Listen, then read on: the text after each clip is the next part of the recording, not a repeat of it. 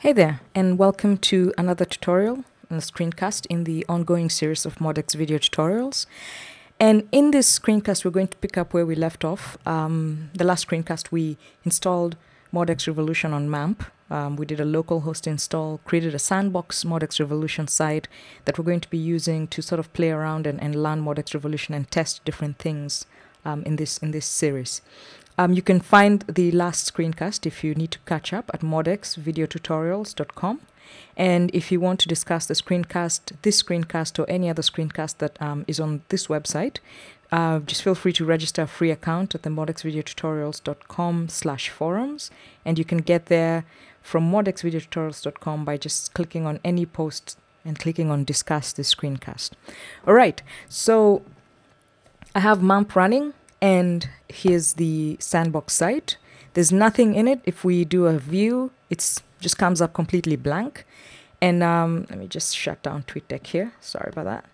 Um, it comes up completely blank. So it's a blank slate ready for us to play with. What I want to do in this screencast is just sort of talk through the back end and just some of the basic things. I can't cover everything. Um, I can, but there would be no point. I think it would be a bit overwhelming, especially if you're completely new to MODx. I'm just going to go over the basics, and as we walk through these screencasts and as we learn more and more things about working with MODx Revolution, you will find that you learn more and more about the different parts of the back end and, and how you use them. So basically, here you are in the back end, which you get to by just clicking home. If you're somewhere else, just click home and it brings you to this part. Um, that's just your dashboard. And you have several buttons. Now, if you look over here, on the on the side here, there's the tree, the resource tree, the element tree, and the file tree, and they're just in three tabs. And this will list your contexts and your resources. And your resources are basically documents. Uh, they're basically the documents, they're web links, um, they're static resources. They're anything that you've added to your site um, that you want to show up on the front end uh, appears as a resource. And, and this might be a little confusing, but if you think about the fact that URL, which is what, you know, the technical, the technical acronym for um, a link is URL, that stands for Universal um, Resource Locator. I believe it's Universal Resource Locator, and and so that's that's where the concept. I think that's where the MODx team came up with the concept of calling these resources, rather than calling them um, documents or pages. So they call them resources, and we're going to be doing a lot of, work here as we build out our site and as as we create. Um, the front-facing documents and, and links and stuff that will come from this place. So the the first one is just home, um, and that's the one that that you get there.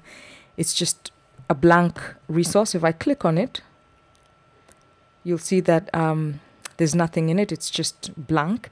But you can see that there's several fields. There's an ID. There's users template, which you know you you click on to select um, what template you want the particular resource to use. There's a title and, and several other fields, a long title description, and you can use this for different things. Resource alias, that if you're using friendly URLs, this is where you would enter the alias that you want to appear as the URL of the page. Um, link attrib attributes if you want to use them and and so on and so forth whether you want the uh, resource to appear in the menu or not and then this is where you put your resource content. So these are the default fields that come with your standard um, resource your standard document or page if, if you so wish to refer to it like that. And then you go on there and there's settings you know is it a container? Um, that that means that are you going to put are you going to give it children? All right so, or is it just going to sit on its own? So for example you might have uh, let me see um, a site where you have a listing of different products. And for example, your products are categorized into books, DVDs, and such. And so you may have books, and, and then under the books, you might have children, where you, you know, the children documents, for example, are, um, you know, Oliver Twist, and the next one is developing sites with PHP, and, and so on. And so your, your, your folder books would be you know, a container. I mean, your document, your resource books would be a container and so on. And so you, you can select whether you want it to be a container or not. It defaults to a container as soon as you add children to it. But there are other situations, and, and we might run into them where you might want it to appear as a container even though it has no children, and so on. But this is where you would set that stuff. Do you want it to use a rich text editor? Do you want to, here you can come and sort of um, play around with publish dates and, and stuff like that. You know, you might want to delay publishing a document, or you you might want to backdate a document. You would change all those things in here. Is it searchable and so on? And a lot of these things, a lot of times, you'll just sort of end up leaving them uh, in their default values. But it's it's good to know that that's there. Then we have template variables, and we're going to talk about those um, in more details. And access permissions, which determines um, if, if you have a site where, for example, only certain people can access certain pages or certain resources, then you would set your permissions in this tab on a document, I mean, on a resource by resource basis. Right, so that's um, this part here. And again, like I said, I'm just sort of running through it. As we work with it, you will um, learn a lot more about them.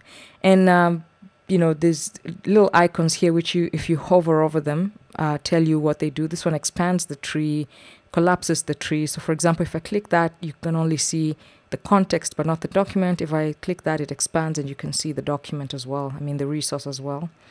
Um, this is to create a new web link, create a new document, create a new symlink, um, new static resource, refresh the tree, show sorting options, remove deleted resources. So you can just sort of hover over those icons and see what each of them is.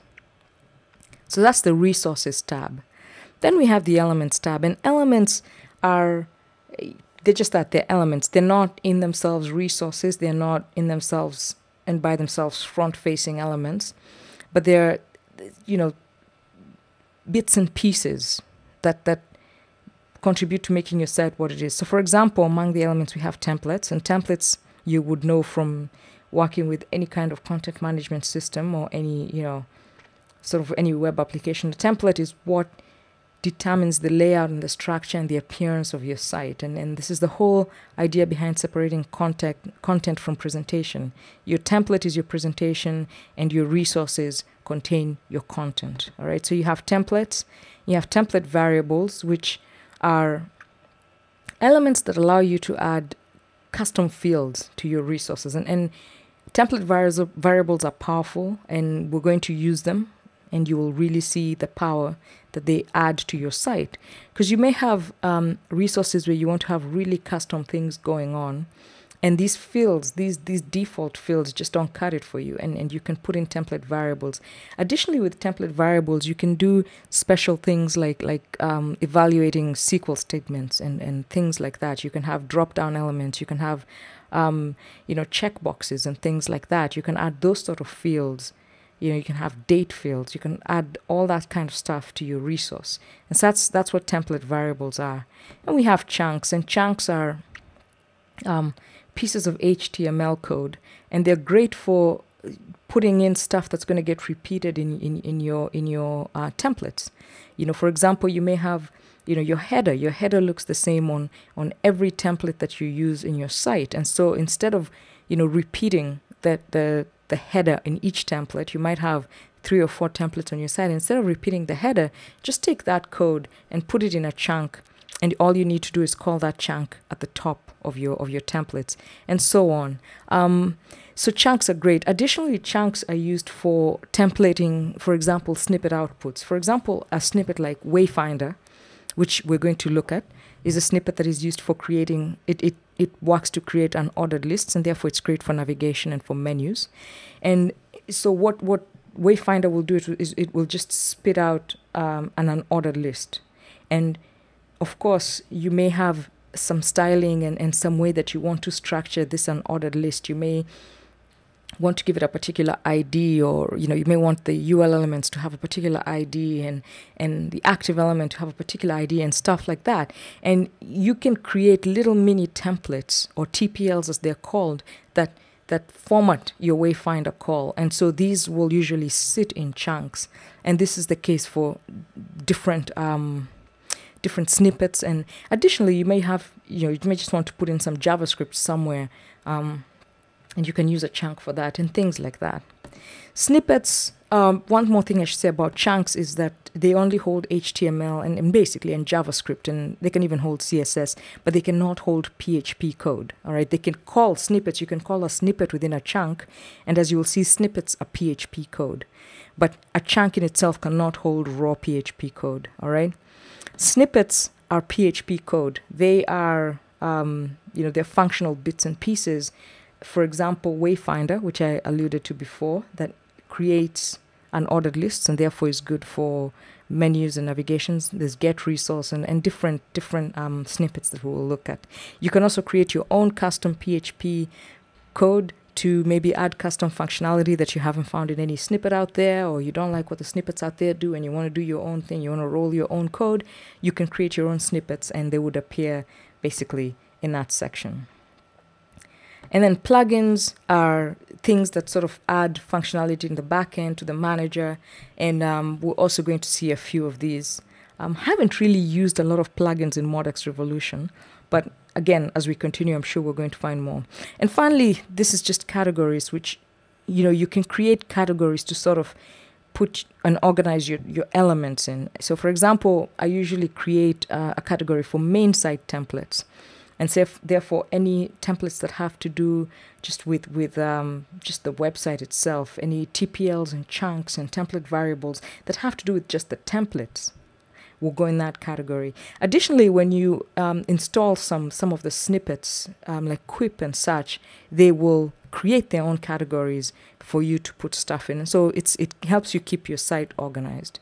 Finally we have the files section and this basically exposes the uh, um, the the files in your MODx setup.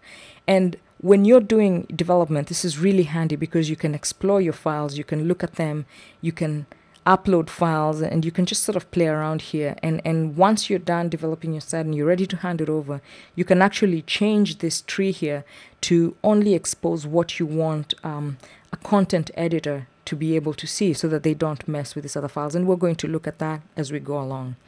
So that's the resource tree, and then that's just the basics of it. And we're going to be working in this area a lot, and trust me, you will be very comfortable with it before too long. All right, then up here we have um, some key items. We have site, and under site, there are different things, and there's small descriptions useful ones to know. View allows you to preview your site, opens it in a new window, so that's handy. If you've made some changes and you want to see what's going on, you can just come here and click View. Um, additionally, with each resource, I still have this resource open. Once you finish doing what you're doing, you can always click Preview and it opens in a new window. All right. Under site, um, you can also come in here to create new documents, new web links if you don't want to use these little um, icons here and you can also remove locks. Um, you know, for example, if two people are editing a page, if somebody's editing the page and you go to edit it, you might find it's locked, and you can remove the locks if you have the uh, proper access permissions and so on. And you have a logout button here, but you also have a logout button there. So different ways to access different parts of the site. Security, this comes in handy. Um, again, if you've created different user roles and user permissions and stuff like that, things that we'll explore, a lot of stuff will come here. One um, thing that I can I can tell you you might find really handy, and we're going to look at um, screen custom. This is form customization, which allows you to sort of move things around and, and create and customize how you know things back here look when somebody goes to create a new resource. For example, you might want to move or I don't know, all your template variables into the main resource area. And we're going to, I'm going to record a short screencast on how to do that. And, and so that's really handy. Um, flashing permissions and flashing sessions can be really handy sometimes just to sort of debug what's going on um, and to sort of give your site a fresh sort of boost if, if you're having things getting cached and you're wondering what's going on.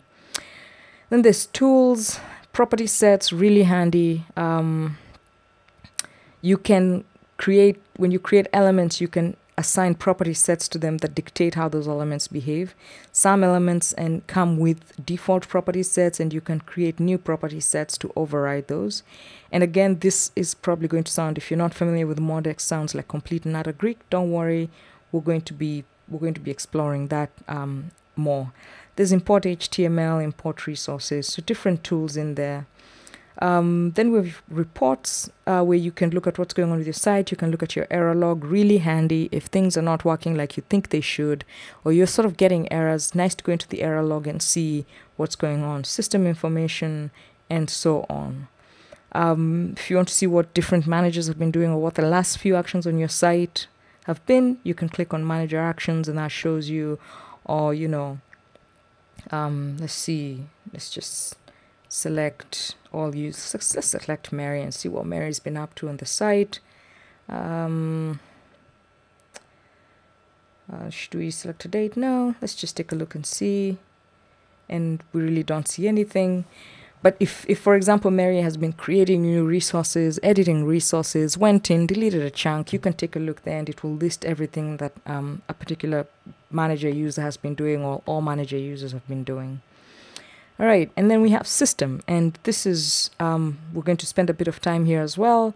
We have package management, system settings, and so on. And in the um, next screencast, we're actually going to start here. We're going to look at system settings. We're going to set some system settings for our site. And we're also going to look at um, package management, and we're going to install some packages. Packages are your add-ons, um, your snippets, and modules, I mean plugins and stuff like that, add-ons that, that, that give more functionality to your site. We're going to find them here when we come to package management. And I, like I said, we'll do that in the next screencast. Lexicon management is language strings and, and, and just basic language stuff to do with the web, uh, to do with um, your website. And we're going to look at that um, down the road, especially when we're working with things like FormIt and we're setting up our reCAPTCHA and things like that. That's going to come in really handy. Content types, um, you can uh, create your own content types. You can change the way different content types behave or what extensions are given to them. We're going to look at that and so on. And things like namespaces and context, this is a bit more advanced, but we'll definitely get to that. And finally, there's user, which is, you know, update your personal profile, view your messages, and support where you can launch and look at lo launch the MODx forums and the wiki, the documentation, and you can do that from the backend. So that's a basic, very basic overview of the MODx backend. Um, just to sort of give you an idea of, of what everything is. Like I said, it's not very detailed and it would be overwhelming if I went into details on each section. I think it makes more sense to learn it in context as you're using it and as you as different needs arise in your site building, you learn what the different things and the different settings are. But that's just a basic overview. So in the next screencast, we're going to come and explore this area here. We're going to look at system settings. We're going to set the system settings for our sandbox. We're also going to do some packages and, and install some packages. We're going to look at how you install add-ons onto MODx. And we're going to start building our website, start building our sandbox and lay the foundation for um, us to start learning how to use different snippets and how just to work with MODx. So thanks again for joining me, and uh, remember to leave any comments or questions at the MODx Video Tutorials Forum. Just create an account, it's free, and um, I'll see you there. All right, thank you.